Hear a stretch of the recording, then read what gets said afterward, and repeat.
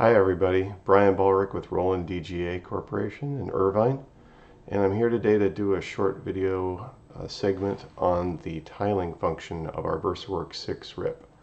So if you follow along, I've got uh, VersaWorks 6 loaded and running.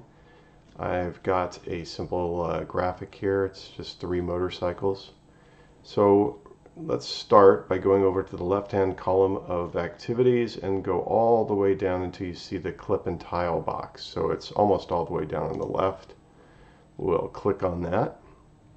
And you can see this actually, this graphics is only 36 by 23.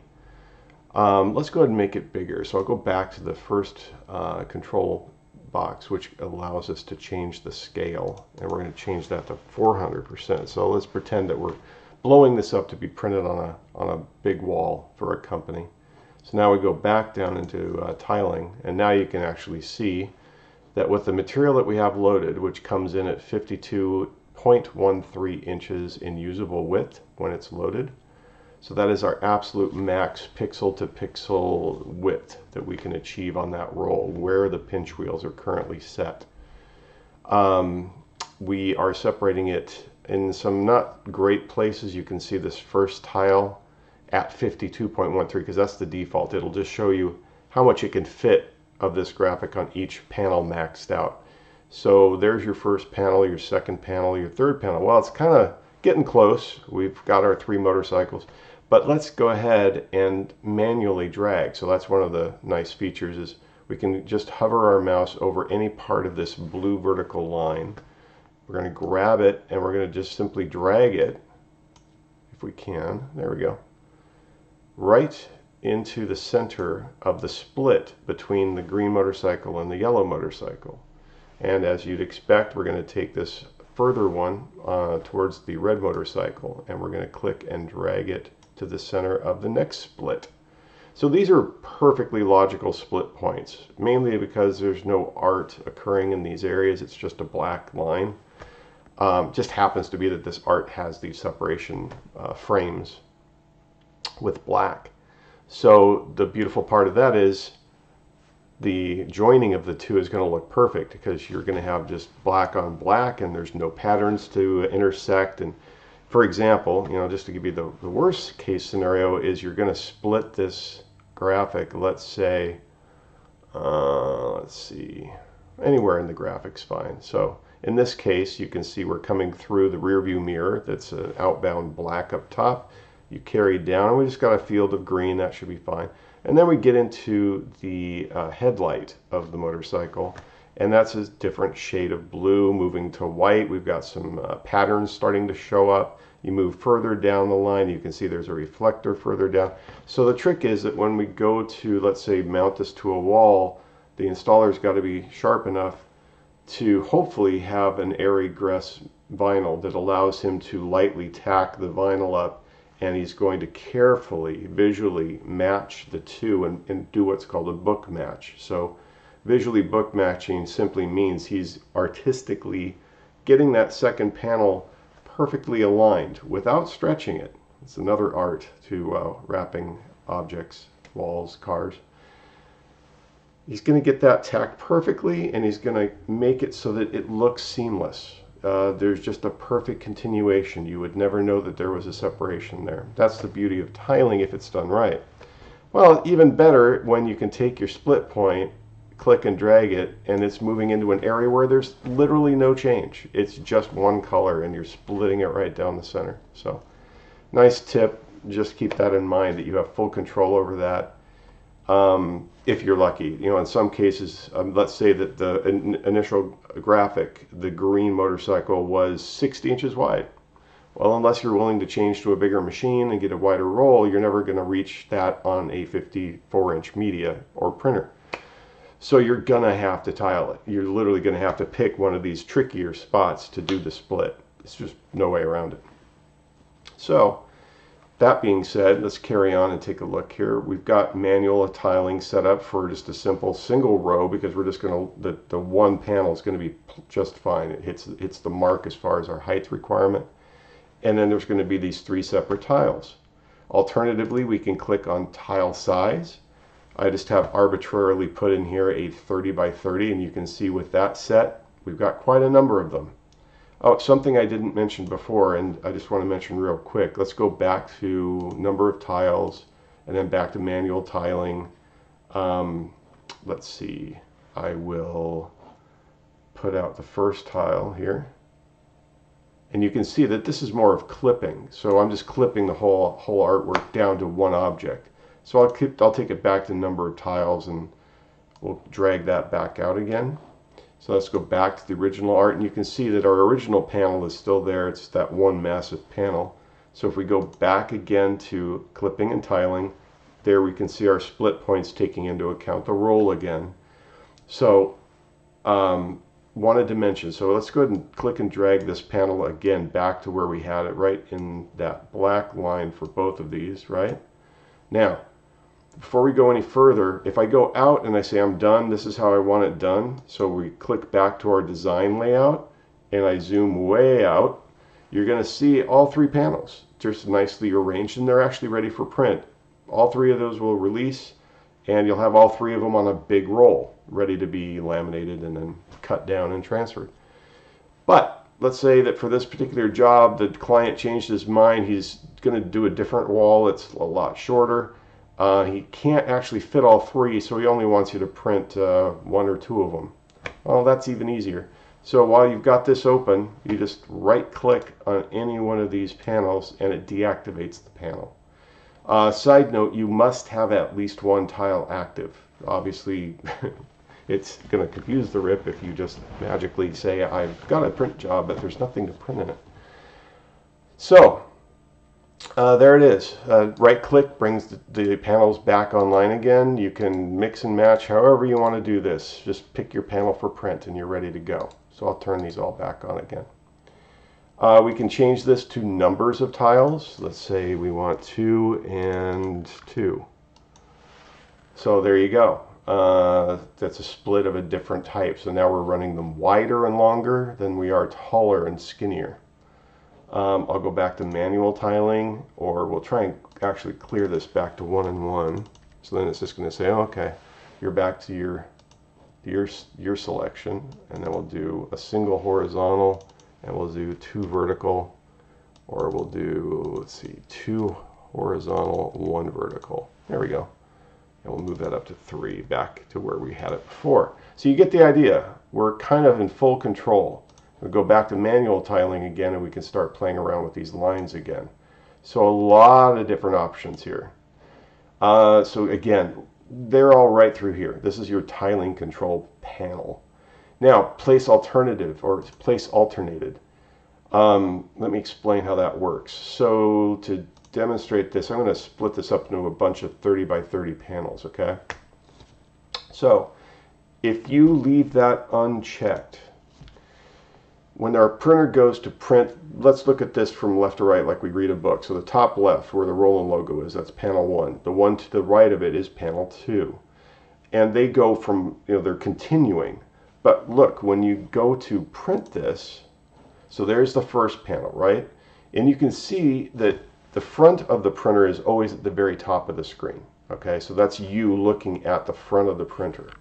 So that means that the Roland bars of the Roland logo is closest to your right. I know it's reversed as we're looking at this, but you just have to think about that. So that's where the Roland logo's starting, is closer to the right side of the machine and not much happening over to the far left. As a matter of fact, there's some empty space. But then we move down. Or before I leave that though, you can see the hand, the grip of the motorcycle is to the more towards the left side of the printer. But when we go to print that second panel, the first thing that occurs is actually the continuation of the grip, which happened to the far left of the printer. But now we're starting to print it to the right side of the printer.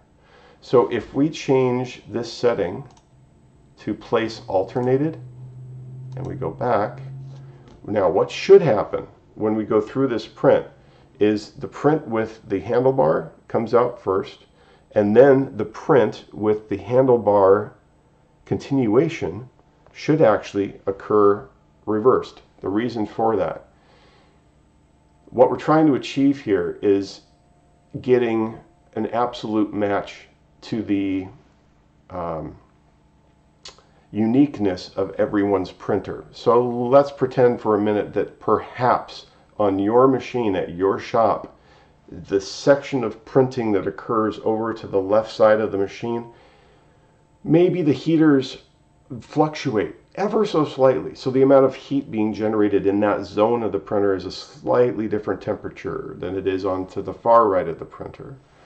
Well, what we're trying to achieve is perfection. So if, if, we started printing the Roland logo to this side, why not print it again on the same side, trying to book match it perfectly both in color quality, consistency. So the way that we, we're attempting to achieve that is this control here place alternated. So that's all that means is that per panel we're doing our best automatically to take objects and if they started printing on one side or the other of the printer we're trying to make it so that they're printing on the same side, the same location on the printer, trying to maintain consistency from panel to panel to panel to panel. Hopefully that makes sense. You can play with it, do a little experimentation. My recommendation, they show it in the manual actually as a big capital letter A and you're splitting the A in half. Well, if you split the letter A in half, what the printer naturally wants to do with that unchecked is continue the print from where it left off. But if you use that checkbox, it flips it around and as you'd expect, let's say the serif of the font is printing on the exact same side as it did when it originally printed the first half of the character. So hopefully that makes sense. Um, let's go ahead and talk a little bit about let's see here, I'm going to do this back to the three panels. We'll click on manual and we'll drag this back a little bit so it's centered and drag this one out a little bit so it's centered. And now we'll go down to overlap. So this is pretty simple. Uh, when you go to book match these panels, it's very customary in wrapping to take some amount that we're going to define here, uh, a quarter inch, a half inch, a full inch, whatever your preference is for the installer. You may want to ask your installer always what he prefers. Some want a lot, some don't need a lot. They'll tell you. So uh, your overlap is simply that. It's you're going to end up with again the perfect amount of material to work with, so that when they do book match together, there's not more of one side than the other. They're going to mate, right? But you're going to have them overlapped ever so slightly. So that amount, which I have here set for a half inch, that means it'll produce a mm, extra half inch of that print so that when they are brought together, there is a half inch where they are overlapping. So basically it's creating clone data so that they'll be able to do that. So that's your type of overlap is the top left. So that very simply means it's only going to produce that overlap where it needs it starting at the top left. All right. Your options are also to print the overlap lines. That becomes useful. Uh, let's see if I can get them to show. There we go. You have to, I have to drag the line out into an area where you can see. So now that I've done that, I can drag this further out and show you. Well, here we go. So print overlap. So now you can see where that split point is, where the, the blue line is. You're going to see these dotted lines to left and right. And you can change the color of that. We're literally asking it to give us a visual. It'll print those little tiny dotted lines onto your graphic so that they're used as a reference to um, to make it easier for the installer to find those those magic lines that he needs. Uh, in our case, I, will be honest, most of the installers that we use, they don't prefer that. They'd rather it be uh, just the graphic itself and then just being told we've included a, a half inch overlap and then they know it's a half inch that they need to carry over. And to be honest, they're using their eyes uh, to make those judgments anyhow. There's some times where maybe the type of graphic, maybe the patterning in the object is so difficult to visually reference, they may ask for it. And if they do, you do have options. They might say, can you please produce a color that is a specific color for those printed dots so they're not too apparent. Maybe you want to mask them or make them disappear a bit. So you want a very light amount of a certain color. So in this case, I've only used a 5% black. It'll be a very, very uh, light, uh, you know, line that you'll see there. Very, uh, almost imperceptible, but for enough for him to use, him or her. So there you go on that. Um, last but not least, all corners, very simply, and it keeps resetting, but you just drag them back to where you want them, if you can. There we go. Remember, you have to actually hover over the correct line, otherwise it won't drag. You see, you literally right one next to the other. One is the visual and one is the actual drag line. So you have to be careful of where your mouse is sitting before you click. All corners simply means, again, if we were to do multiple tiles, so let's go to 30 by 30 tiles, obviously the left and right tiles, that's going to be a simple top left corner because there's only one section that's going to ever overlap. But if you have multiple, like where it's top and bottom, left and right panels that are going to intersect and you want overlap top and left and right, you simply do all corners. And you now have overlaps on every panel that needs it. It's that simple. I hope this has been helpful. As always, if you have any questions, you'd be free to ask them, and we will get back to you either with a video or on our blog posts. I hope to see you in another video in the future. Bye.